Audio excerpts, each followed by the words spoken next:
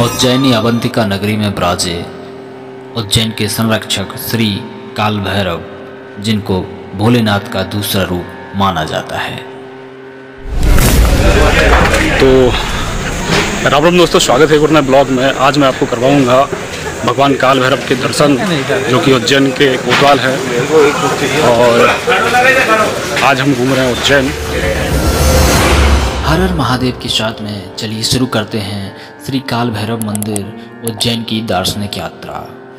उज्जैन महाकालेश्वर ज्योतिर्लिंग से करीब आठ किलोमीटर दूर छिप्रा नदी के किनारे श्री काल भैरव भगवान का मंदिर स्थापित है, जो कि उज्जैन के संरक्षक देव के रूप में जाने जाते हैं, जिनका रूप अति उग्र है और प्रसाद में इनको मदरा चढ़ाई जाती है, यानी कि शराब चढ़ाई जाती है।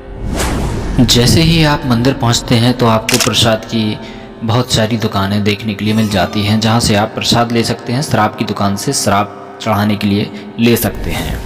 और बढ़ जाते हैं आगे, मंदिर की तरफ़। धीरे धीरे चलते जाइए, अगर भीड़ नहीं है तो आराम से आपको दर्शन हो जाते हैं। मंदिर के सामने ही आप पहुँचते हैं तो देखते हैं कि जूता चप्पल रखने के लिए स्टैंड है, जूता का चप्पल का स्टैंड है, जहाँ पर आप जूता चप्पल स्टैंड पर रख कर आगे बढ़ जाते हैं दर्शनों के लिए। दर्शनों के साथ साथ आप देख सकते हैं, ये जो बैरिकेड लगे हैं, इनमें हज़ारों की संख्या में, लाखों की संख्या पे इच्छा पूर्ति के लिए धागे बांधे गए हैं। अब हम बढ़ जाते हैं, आगे की ओर एक बहुत बड़ा गेट मिलता है, जहाँ पर सामने से ही मंदिर के दर्शन होते हैं। जैसे ही आप अंदर घुसते हैं तो राइट साइड में आपको दीपोत्सव देखने के लिए, दीप मतलब दीप स्तंभ आपको देखने के लिए मिल जाता है। जब हम पहुँचे थे रात के समय में तो दीप, दीपदान हो चुका था। थोड़े थोड़े दीपक जल रहे हैं अभी ऊपर से नीचे तक, और अब हम बढ़ते हैं आगे की ओर।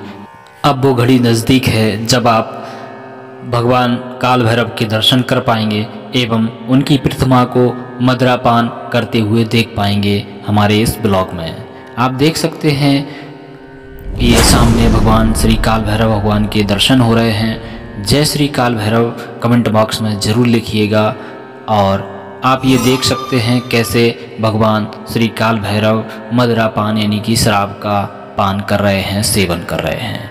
ये पुजारी जी ने प्लेट में मदरा को लिया और ये प्रतिमा के मुख से लगा दिया और प्रतिमा शराब धीरे धीरे करके पीती जाती है।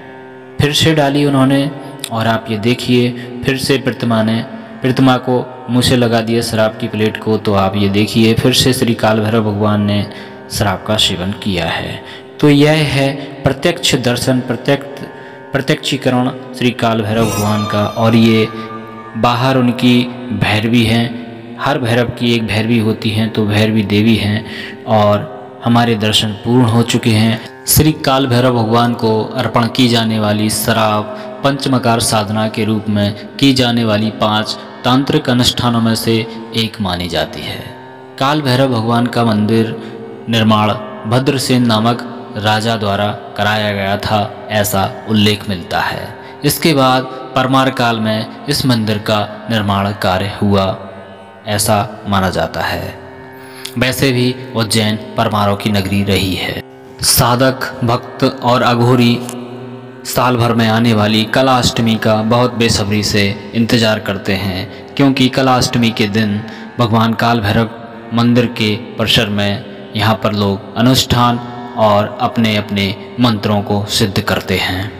श्री काल भैरव भगवान की आरती का समय सुबह शाम साढ़े आठ बजे निर्धारित है। आप देख सकते हैं, सुन सकते हैं यहाँ पर ढोल नगाड़ों के साथ में भगवान श्री काल भैरव की आरती की जा रही है और लोग बाग हाथ जोड़कर खड़े हुए हैं। अब हम बढ़ते हैं आगे। श्री काल भैरव मंदिर परिसर में एक और मंदिर है, गुरु भगवान दत्तात्रेय भगवान का मंदिर।